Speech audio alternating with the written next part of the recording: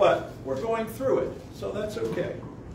What the professor meant was don't plagiarize. Don't just take some other guy's sermon. You preach it like as if God laid it on your heart. So we're looking at Acts chapter 3, verse 19. I'm going to read 19 to the end of the chapter. This is the second part of his sermon. And then we're going to go through it together. So Acts 3:19 Repent ye therefore and be converted that your sins may be blotted out when the times of refreshing shall come from the presence of the Lord.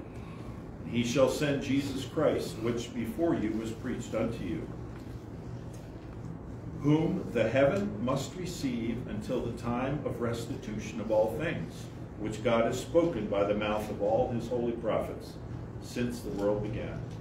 For Moses truly said these days, Ye are children of the prophets and of the covenant which God made with your fathers, saying unto Abraham, And in thy seed shall all the kindreds of the earth be blessed. Unto you, first God, having raised up his Son Jesus, sent him to bless you, in turning away every one of you from his iniquities.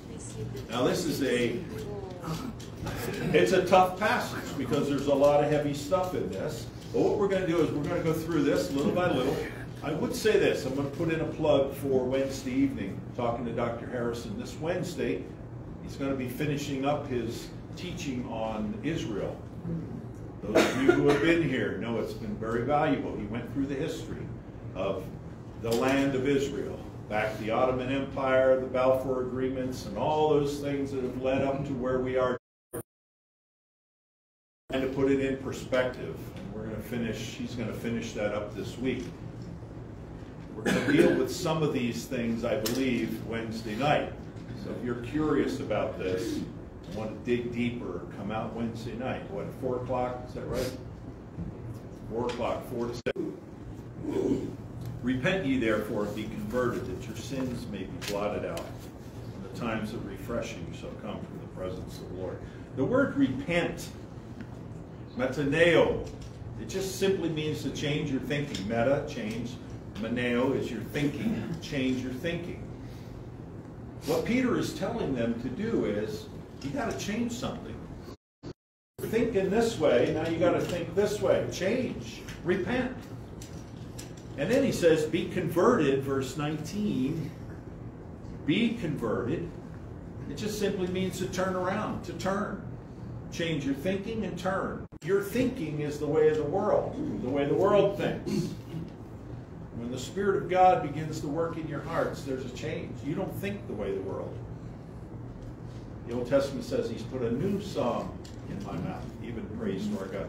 You had an old song, now you got a new one. Remember the example of the prodigal son? I thought of this. If you, you read in Luke chapter 15, remember when he asked his father for his inheritance and he went out and spent it? He had one way of thinking. What was it? My way. I don't care about dad. I consider him, you know, as good as dead. I want my inheritance. Took the money. He's thinking a certain way. And if you read Luke 17, he's sitting in a pig pen and he's so hungry he wants to eat the pig food. And it says, he came to himself. He had a change of thinking. He's like, what am I doing? It says he's sitting there ready to eat the pig food. He's been thinking a certain way, change of thinking. Up until then, he didn't care anything about home. He left home and he's on his own. He wants to do what he wants to do. Now all of a sudden he's starting to think about home. What brought that about? Well, God let him get to the bottom. So he's thinking this way. Home is out of his mind. He's left. See you, Dad. See you, guys. Man, I'm doing my own thing. Then when he gets to the lowest point, he turns and he thinks about home. Total change. And then, verse 18, he says, I will go. I'll arise and go back to my father. And I'll say, I've sinned against you, heaven and earth. Please let me come back as one of your servants. So what do we do? We see a change of thinking. He left home, but now he's thinking about home again. And now he makes a decision. He's converted. He says, I'm going back. Change of direction. It's exactly what Peter's saying. when repentance and conversion are part of preaching. Look at Acts 20. Here's what this is what Paul says when he's standing before King Agrippa. He says, but he showed, but showed first unto them of Damascus and Jerusalem and throughout all the coasts of Judea, and then to the Gentiles. Look what it says. So going back to Acts chapter 3, verse 19, Peter talks about repentance. You know, repentance is not a real popular word today. If you listen to many preachers, especially those with prosperity gospel, what they say is, you know what? Accept Jesus and he will do all kinds of things for you. He will provide for you. Your life is going to be better. You know what I find? I find the preachers in the Word said, you need to hit the lowest spot in your life and you need to realize you're a dirty, rotten sinner. And you need to quit doing that and thinking that way. You got to think differently repentance is not a real common upset people, right? Do I really want to upset people? Do I want to make them angry? Like, really, I have to leave my sin? I can't just have my own life and add God to it? Peter goes, no. You give up your life. You give up the way you think. You give up what you're doing, and you now follow a new master. Sounds a little radical, doesn't it? That's Peter's preaching. Let's look at something here. I wrote at the moment of salvation, I think I only, let's see, one, two, three, four, 16 of them here. Do you realize that when you became a Christian, there were amazing things that happened? Look at the things that happened. Repentance, converted. The Bible says you were justified. That means God looked at you as if legally you had not committed those. You're united with Christ. You're redeemed. You bought, you've been bought back out of the slave market of sin. You're born again. Jesus told Nicodemus, you got to be born again. You've been translated, it says, out of the kingdom of darkness into the kingdom of light. You're sealed. God puts his stamp, his seal on you, which is the Holy Spirit, saying, You are mine. You're reconciled. Reconciled is two things that don't get along are brought together. You're a sinner, God is holy, and somehow the two meet. You've been adopted into his family. You're indwelt by the Holy Spirit. You're made complete. You're forgiven. Wow. You're delivered. You now have an inheritance. You have a new citizenship. Think of all the things that happened when you became a Christian. Now, some people like to say, well, which one happened first? Which one happened next? The Bible doesn't tell us which one happened. It just says it's a package deal.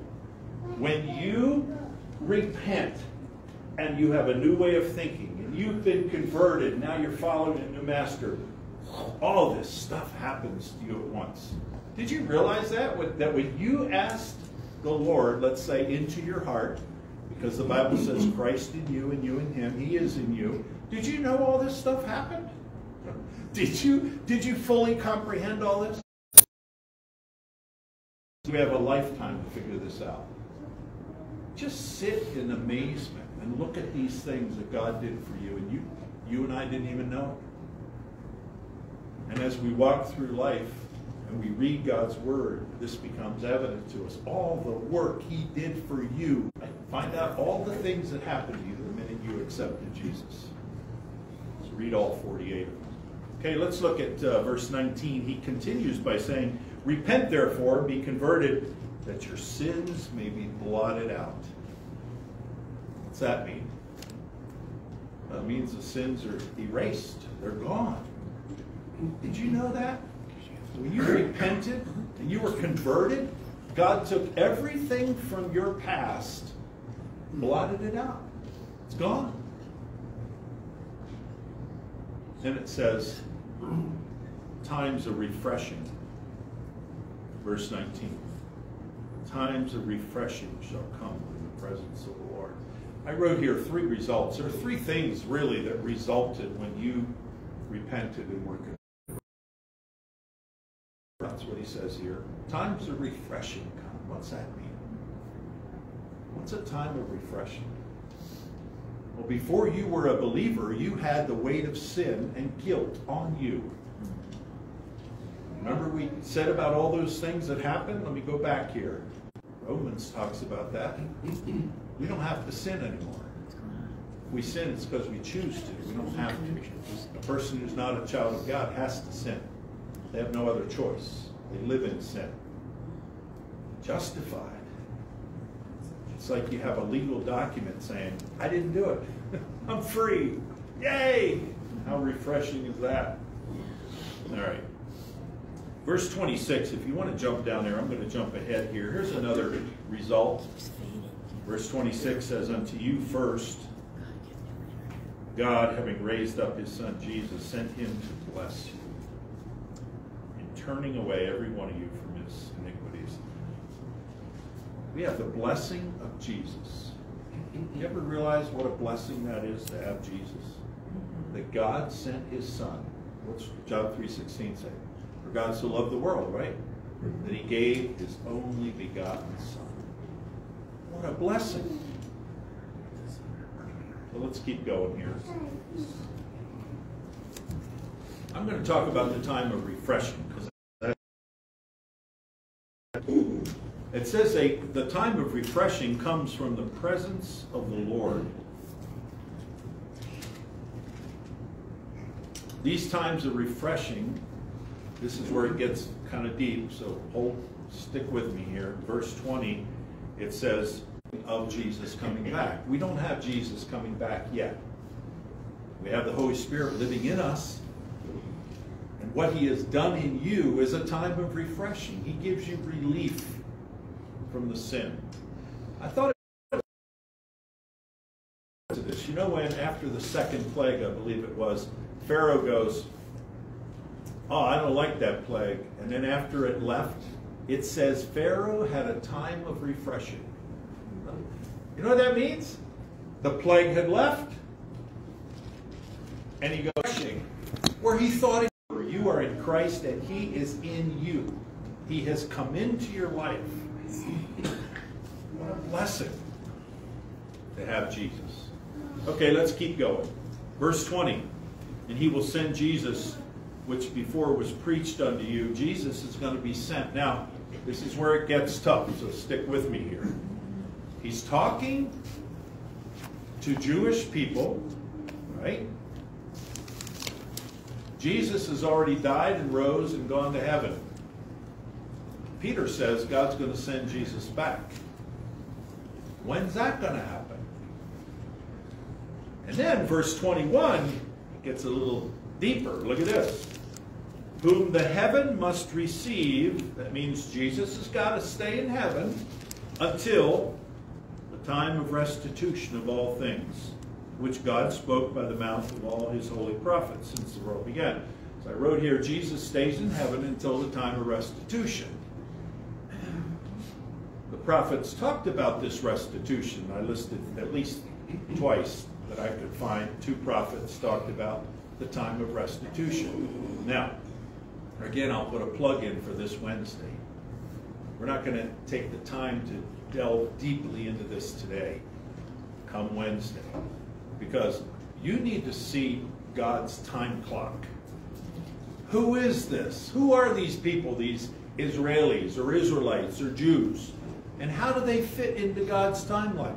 Peter says here that Jesus is going to be sent back from heaven, but not until Israel is restored. Well, what's that? I'm not going to tell you. you got to come Wednesday. No, not really. Let's keep going here. Uh, Moses spoke about the coming judgment.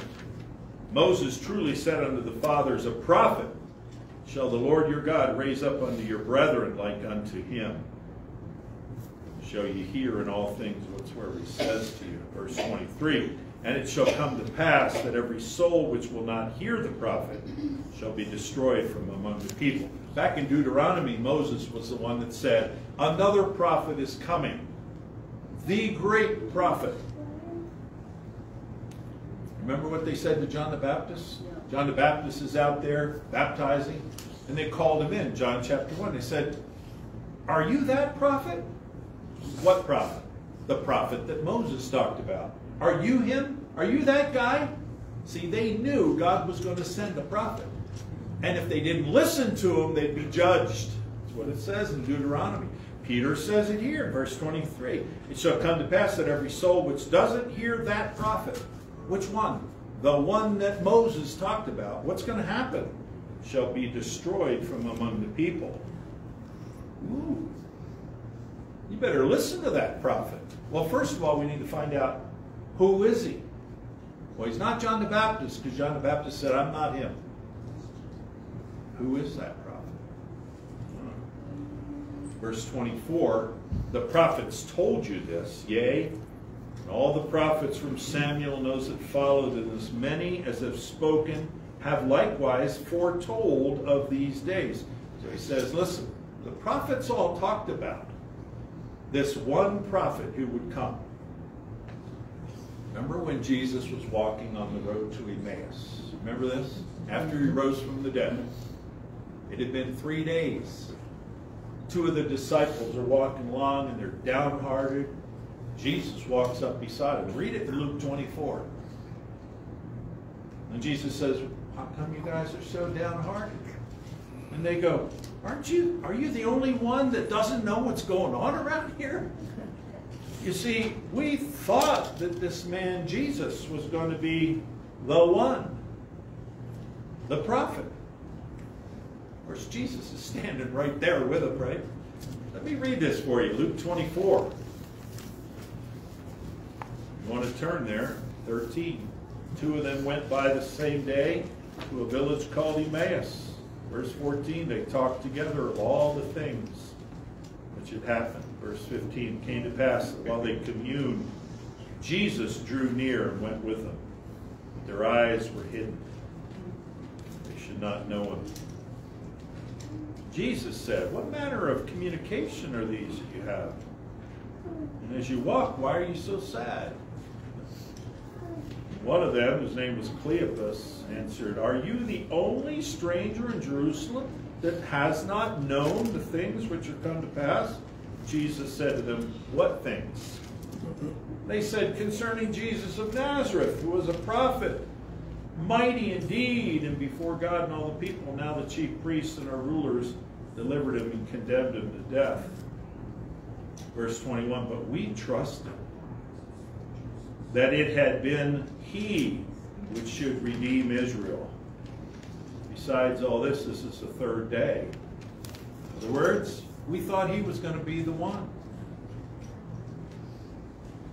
Verse 22 Yea, certain women of our company,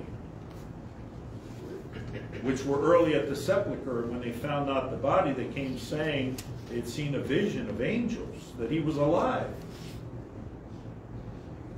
And then verse 25, he said to them, O fools, slow of heart to believe all that the prophets have spoken. So what's Jesus' first words? You should have read what the prophets said. Oh, all right, what did the prophets say? Verse 26, ought not Christ to have suffered these things and to enter into his glory? And beginning at Moses and all the prophets, he expounded to them in all the scriptures the things concerning himself. But what did Jesus do? I've often said, well, I wish I could do this. I wish I could start at Moses and go through the history of the Old Testament and show Jesus. And that's what he did.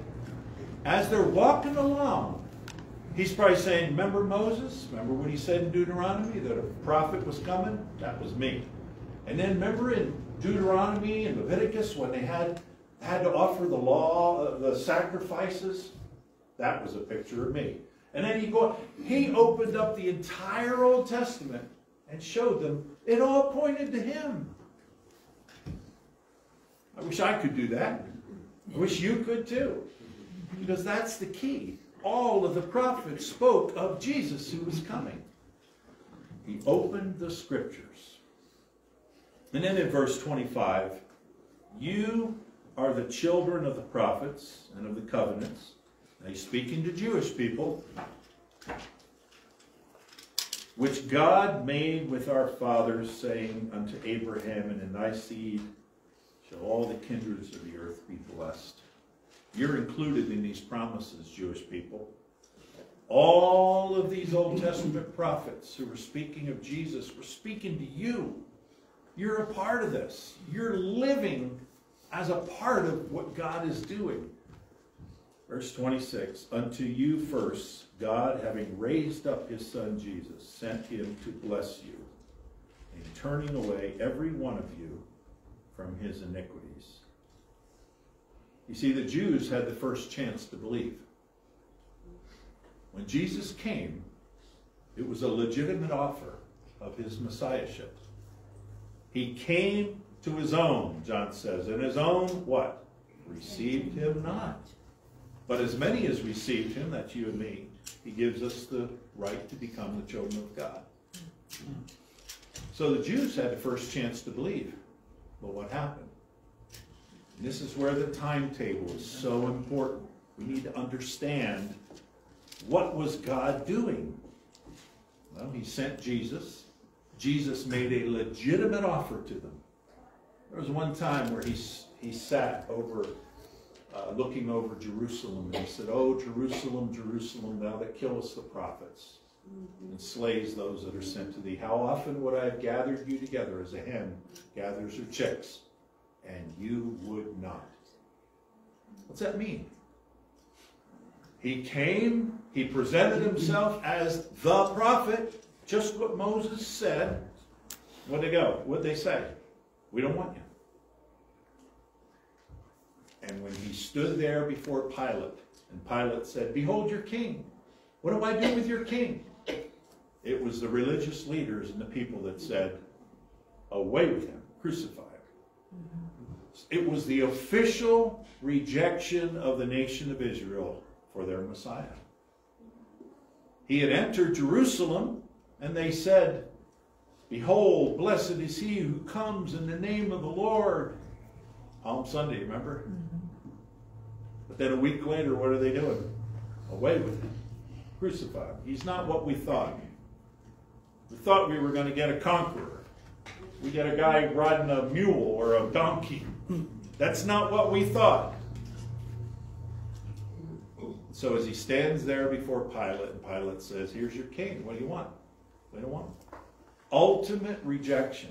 So Jesus came, presented himself as Messiah, the evidence of his miracles and his teaching, and they go, We don't want him. Now, what happened in the time clock of, of Israel? Israel rejected their Messiah. We don't want him. So what did God do? Well, you have to read the book of Romans to get the full picture. But Paul grieves for his countrymen. Paul was a Jew, and he grieved. Here, let me read this for you. For I would not, brethren, that you be ignorant of the mystery. See, this was a mystery. Lest you should be wise in your own conceits, that blindness in part has happened to Israel until the fullness of the Gentiles come in. So all Israel will be saved. It is written, There will come out of Zion a deliverer, shall turn away ungodliness from Jacob. Stick with me here. Blindness has come on Israel. If you talk to Israelis, Jews today, there's a blindness. Yeah. Here's, here's how it happened. Jesus came, presented himself as their Messiah. What did they do? We don't want you. We don't want you. So what did God do? Blinded them and opened the door to the Gentiles. Remember Peter? On this rock I will build my called out ones. Something new. Out of every tribe and nation and kindred and tongue, I'm going to have a kaleo, a called out people. Jews, you're blinded because I'm doing a work here. And even Paul says, that when God is at work in us Gentiles, we are causing the Jews to be jealous. Why? Because they missed their chance. They rejected the legitimate offer of a Messiah. And now that God's working with the Gentiles, the Jews are over here, blinded, half blinded, he says, blindness in part. But they're looking and they're going, look what God's doing with them. How come he's not doing it with us? because you rejected him. That's why. Yeah. He came. You didn't want it. So let me read this again. Paul grieves for his own people. Because Paul now is a member of this group, the Kaleo people, the Kaleo, the Ecclesia, called out ones, and he's looking back at his own people and going, oh, if you had only received him.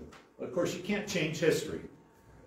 And what's really interesting, too, is that God had already said that was going to happen. Yeah. That the Messiah would come as a suffering servant. Mm-hmm.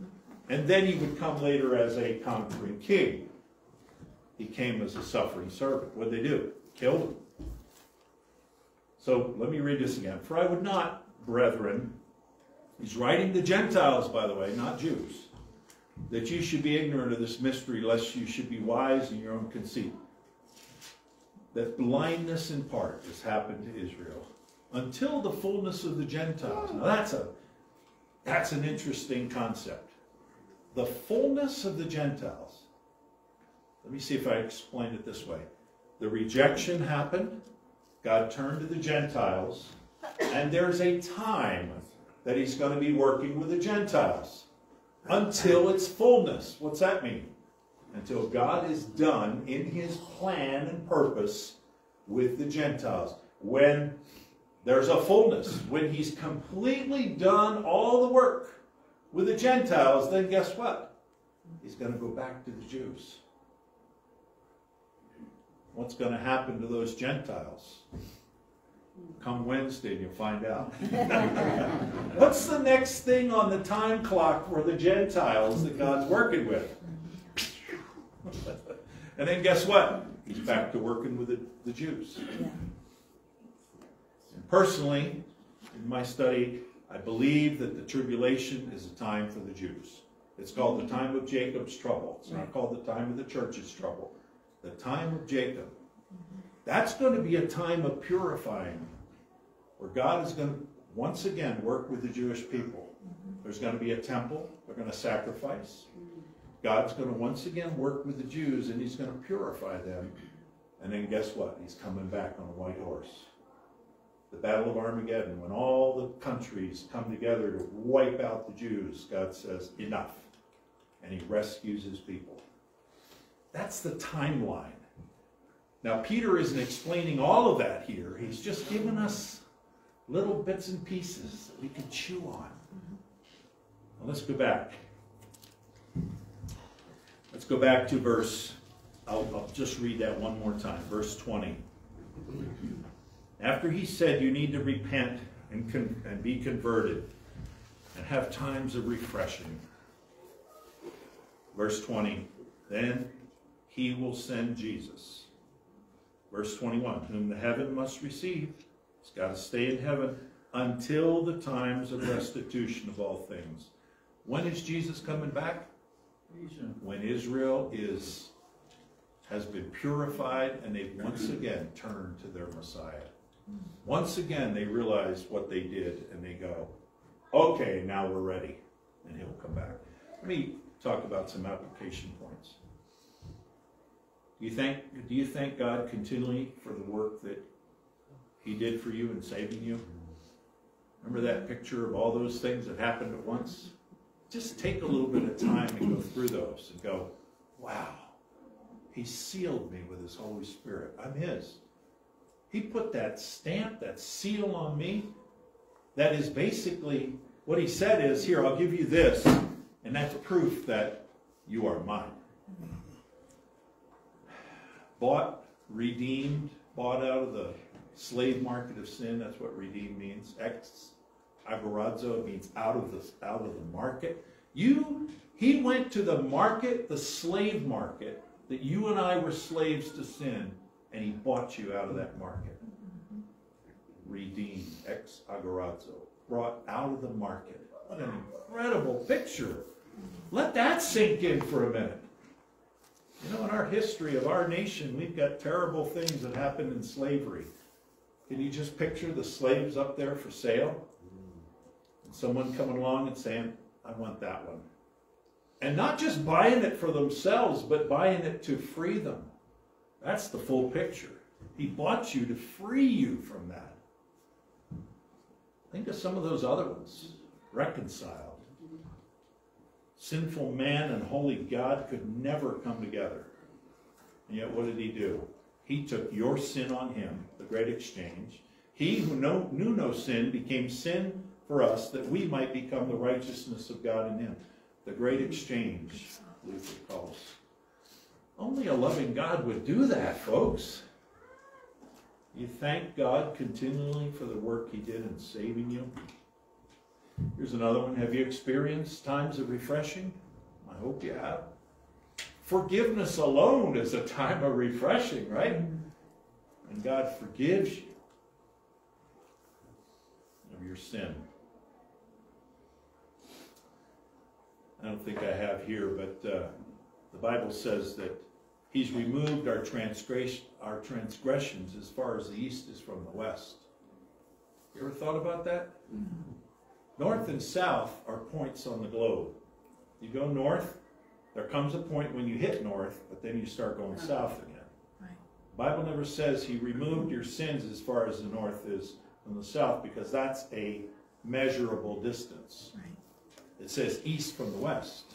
You can keep going east forever and never stop going east. Yeah. You can keep going west and never stop going west. There's a reason he used those terms. God shows us the importance of words. What does it mean, east from west? It means it's so far it can't be measured. Uh, Micah says his sins are buried in the deepest part of the sea. It's another word picture. What an amazing thing. How's that? Well, it's so far down you can't get to it. Remember that accident that happened yeah. recently about people that went down yeah. to see the Titanic? Mm-hmm. And the vessel wasn't fit for that depth?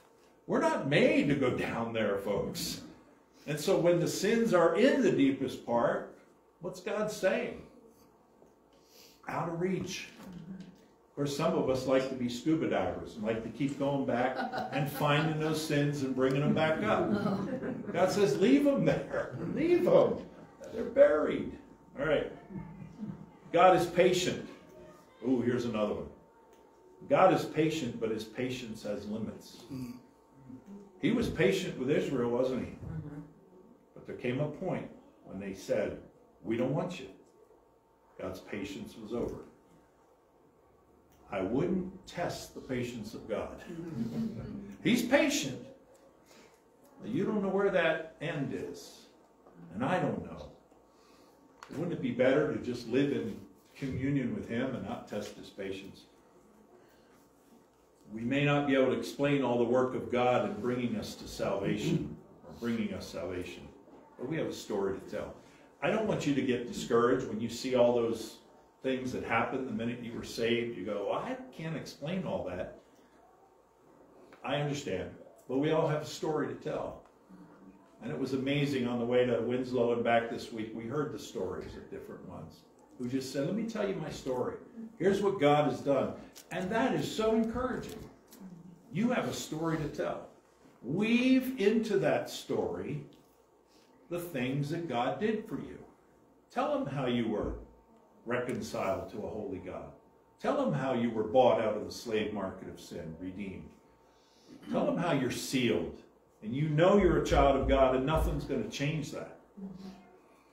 I told you, I think a couple weeks ago, about an individual that I talked to that had problems with, I don't know if I'm a Christian because I did something, you know, that displeased God. And so maybe I need to become a Christian again. And my whole point was, well, what does God do to describe you becoming a Christian?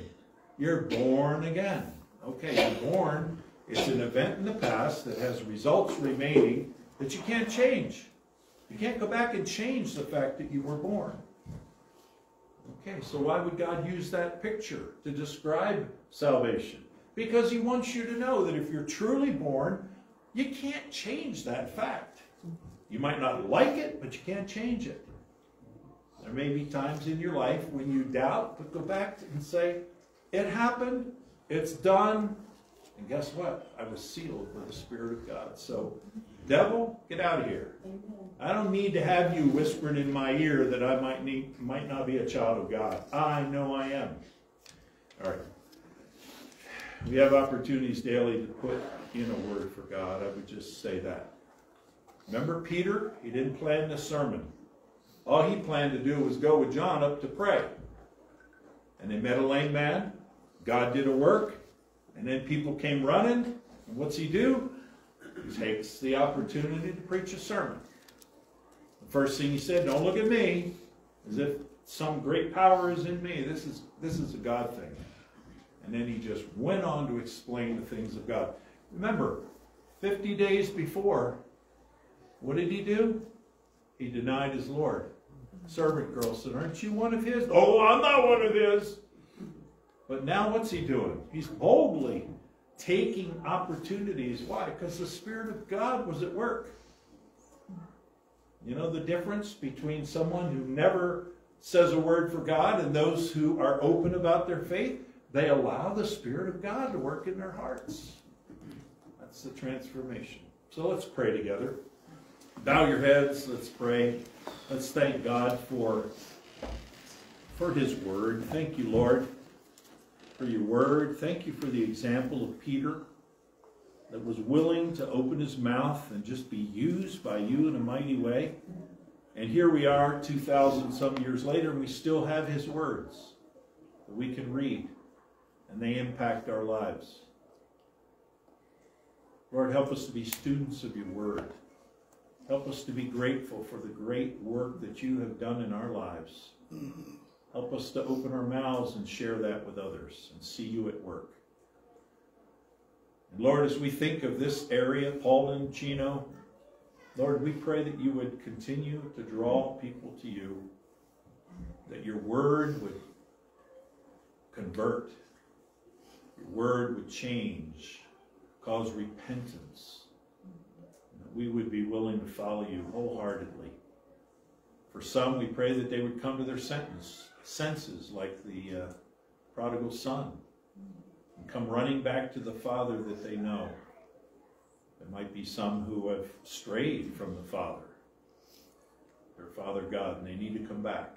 Lord, do what you need to do in their lives to bring them to that point where they are so low that they realize and come to their senses that their way is a way of destruction. They've been following the deceiver, the devil, and now it's time to turn and go back to the Father. And for those who have never heard, we pray that they would hear through us, through others, there is a God who loves them and died for their sins and offers them a relationship as children of God. And I pray that they would be moved by the Holy Spirit to accept you into their hearts. Lord, we pray that Paulden Chino would know there's a living God that work that meets us here in this place and then walks with us during the week. We thank you. In Jesus' name, amen. amen. All right, go ahead and stand with us and let's close with a closing song.